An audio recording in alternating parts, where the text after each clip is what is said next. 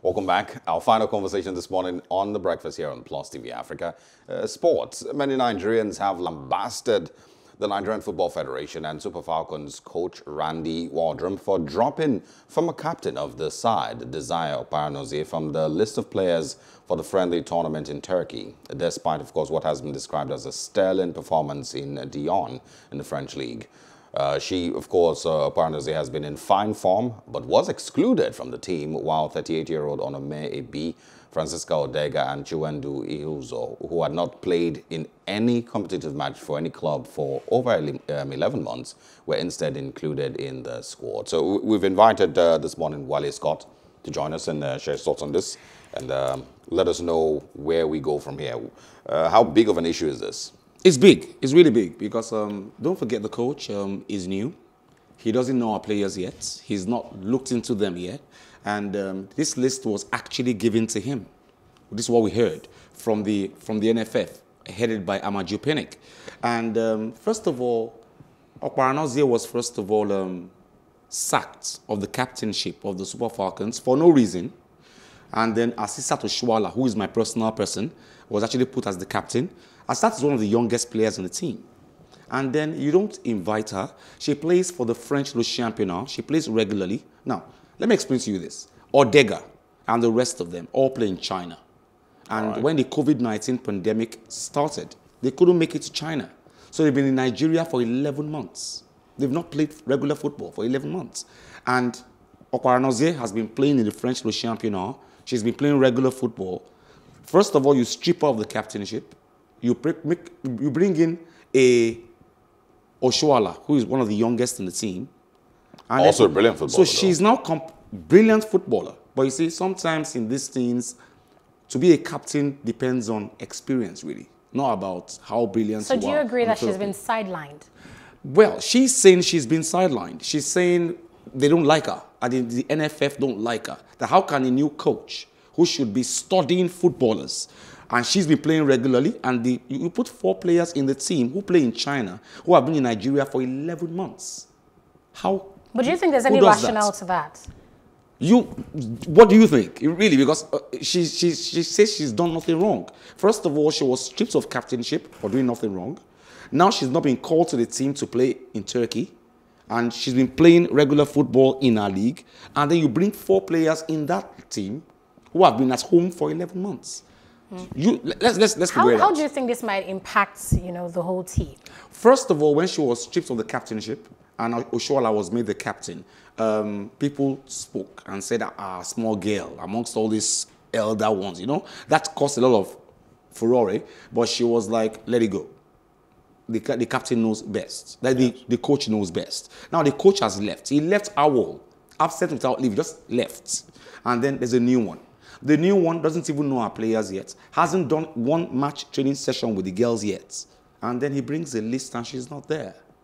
So, it smells. So what, so, so what normally should be the things that a uh, coach should look through before appointing players or before calling up players? Well, well we would expect that um, our, our, coach, um, be, uh, a, a, few weeks before he becomes the main coach, yes. actually looks at footages of these players playing abroad and all that, you know, and then get to know the ones who are in Nigeria here. Of course, most importantly, try and build our league. And then he will now write a list. This coach might have looked at footages, but I don't think he knows our players well enough. If he does, he would not call four players who are in Nigeria for 11 months and leave one who is playing regularly in the French Le Championnat.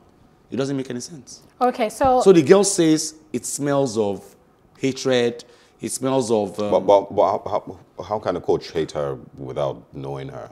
That's because we all we have all confirmed that, or we all know it's obvious that the list was not from him, the NFF. So hmm. whatever the NFF, she says the NFF has something against her, and it's very obvious right now. Okay, one other angle obvious. here that she's raised, she's saying that she feels that she's been sidelined because she took part in protests in France over, you know, unpaid bonuses, and that was at the 2019 Women's World Cup in France. And another statement here saying the, the, the NFF told her that she needed to push harder to be selected. How do these two things play into this consideration for the team? She, she, was, she, she shouldn't have done the protest. She did the protest not in Nigeria, abroad, and the foreign media, Nigerian media, picked it up and said, oh, what effrontery? You actually, you're actually protesting against the NFF. But she has a right to protest. She has a right to actually say this thing is wrong. And she says that the reason why she's been sidelined now, she's been witch hunted, is because she actually protested in the first place. And now, Amaju Pinnick is the head of NFF. He's someone who doesn't like to be, he doesn't, don't look at him. He doesn't want to be asked questions. He just wants to tell you what he wants and you must do it. And she protested. Hmm. And she says she's paying for her protest. Can, anyway. and it seems right. Can the Falcons do well without Oparanozie? Yes, of course. Or no, the team will do well. But it's just the fact that um, Oparanozie will, she was the captain. She would have her own loyalists to the team. Indeed. Will it affect the team? I don't know. I'm talking about loyalists. Lots of our fans on Twitter are, you know, pushing out support, saying yes. she might have been, been sidelined, sidelined, but she means a lot to them, and she should be strong. That even though you know she who's been working on her game has been sidelined. Other people without the club have been included. Exactly. You know, but she should keep her head up. My fear is she has her own loyalists too. She was captain for a long time. And my fear is, um, will the loyalists take her side? Will they not do well on the field of play? I don't know. I fear for that. Mm. I fear for that. Well, all the best to the Falcons. I think that's the most important thing. Um, individual players, yes, might have issues, but the most important, you know, aspect or factor here is that the Super Falcons. Uh, we've seen players. We've, well. we've seen players go against coaches and play badly. So All right. Mm. I fear for that. Best of luck. Thanks, uh, Wale Scott, for Thank stepping in and for being a part Thank of uh, the Thank program. you, Aneta. All right. Um, that's where we wrap up this morning. It's been a pretty interesting run uh, from, uh, of course, a news review today in history and the very important topics that we had uh, as a part of our discussions this morning. We hope you did enjoy it. If you missed out on any of these, join us on social media at Plus TV Africa, Facebook, Twitter, and Instagram. Same with our YouTube channel. I am Osarogie Ogbonmwan. I am Aneta Felix saying have a beautiful Wednesday. Bye-bye.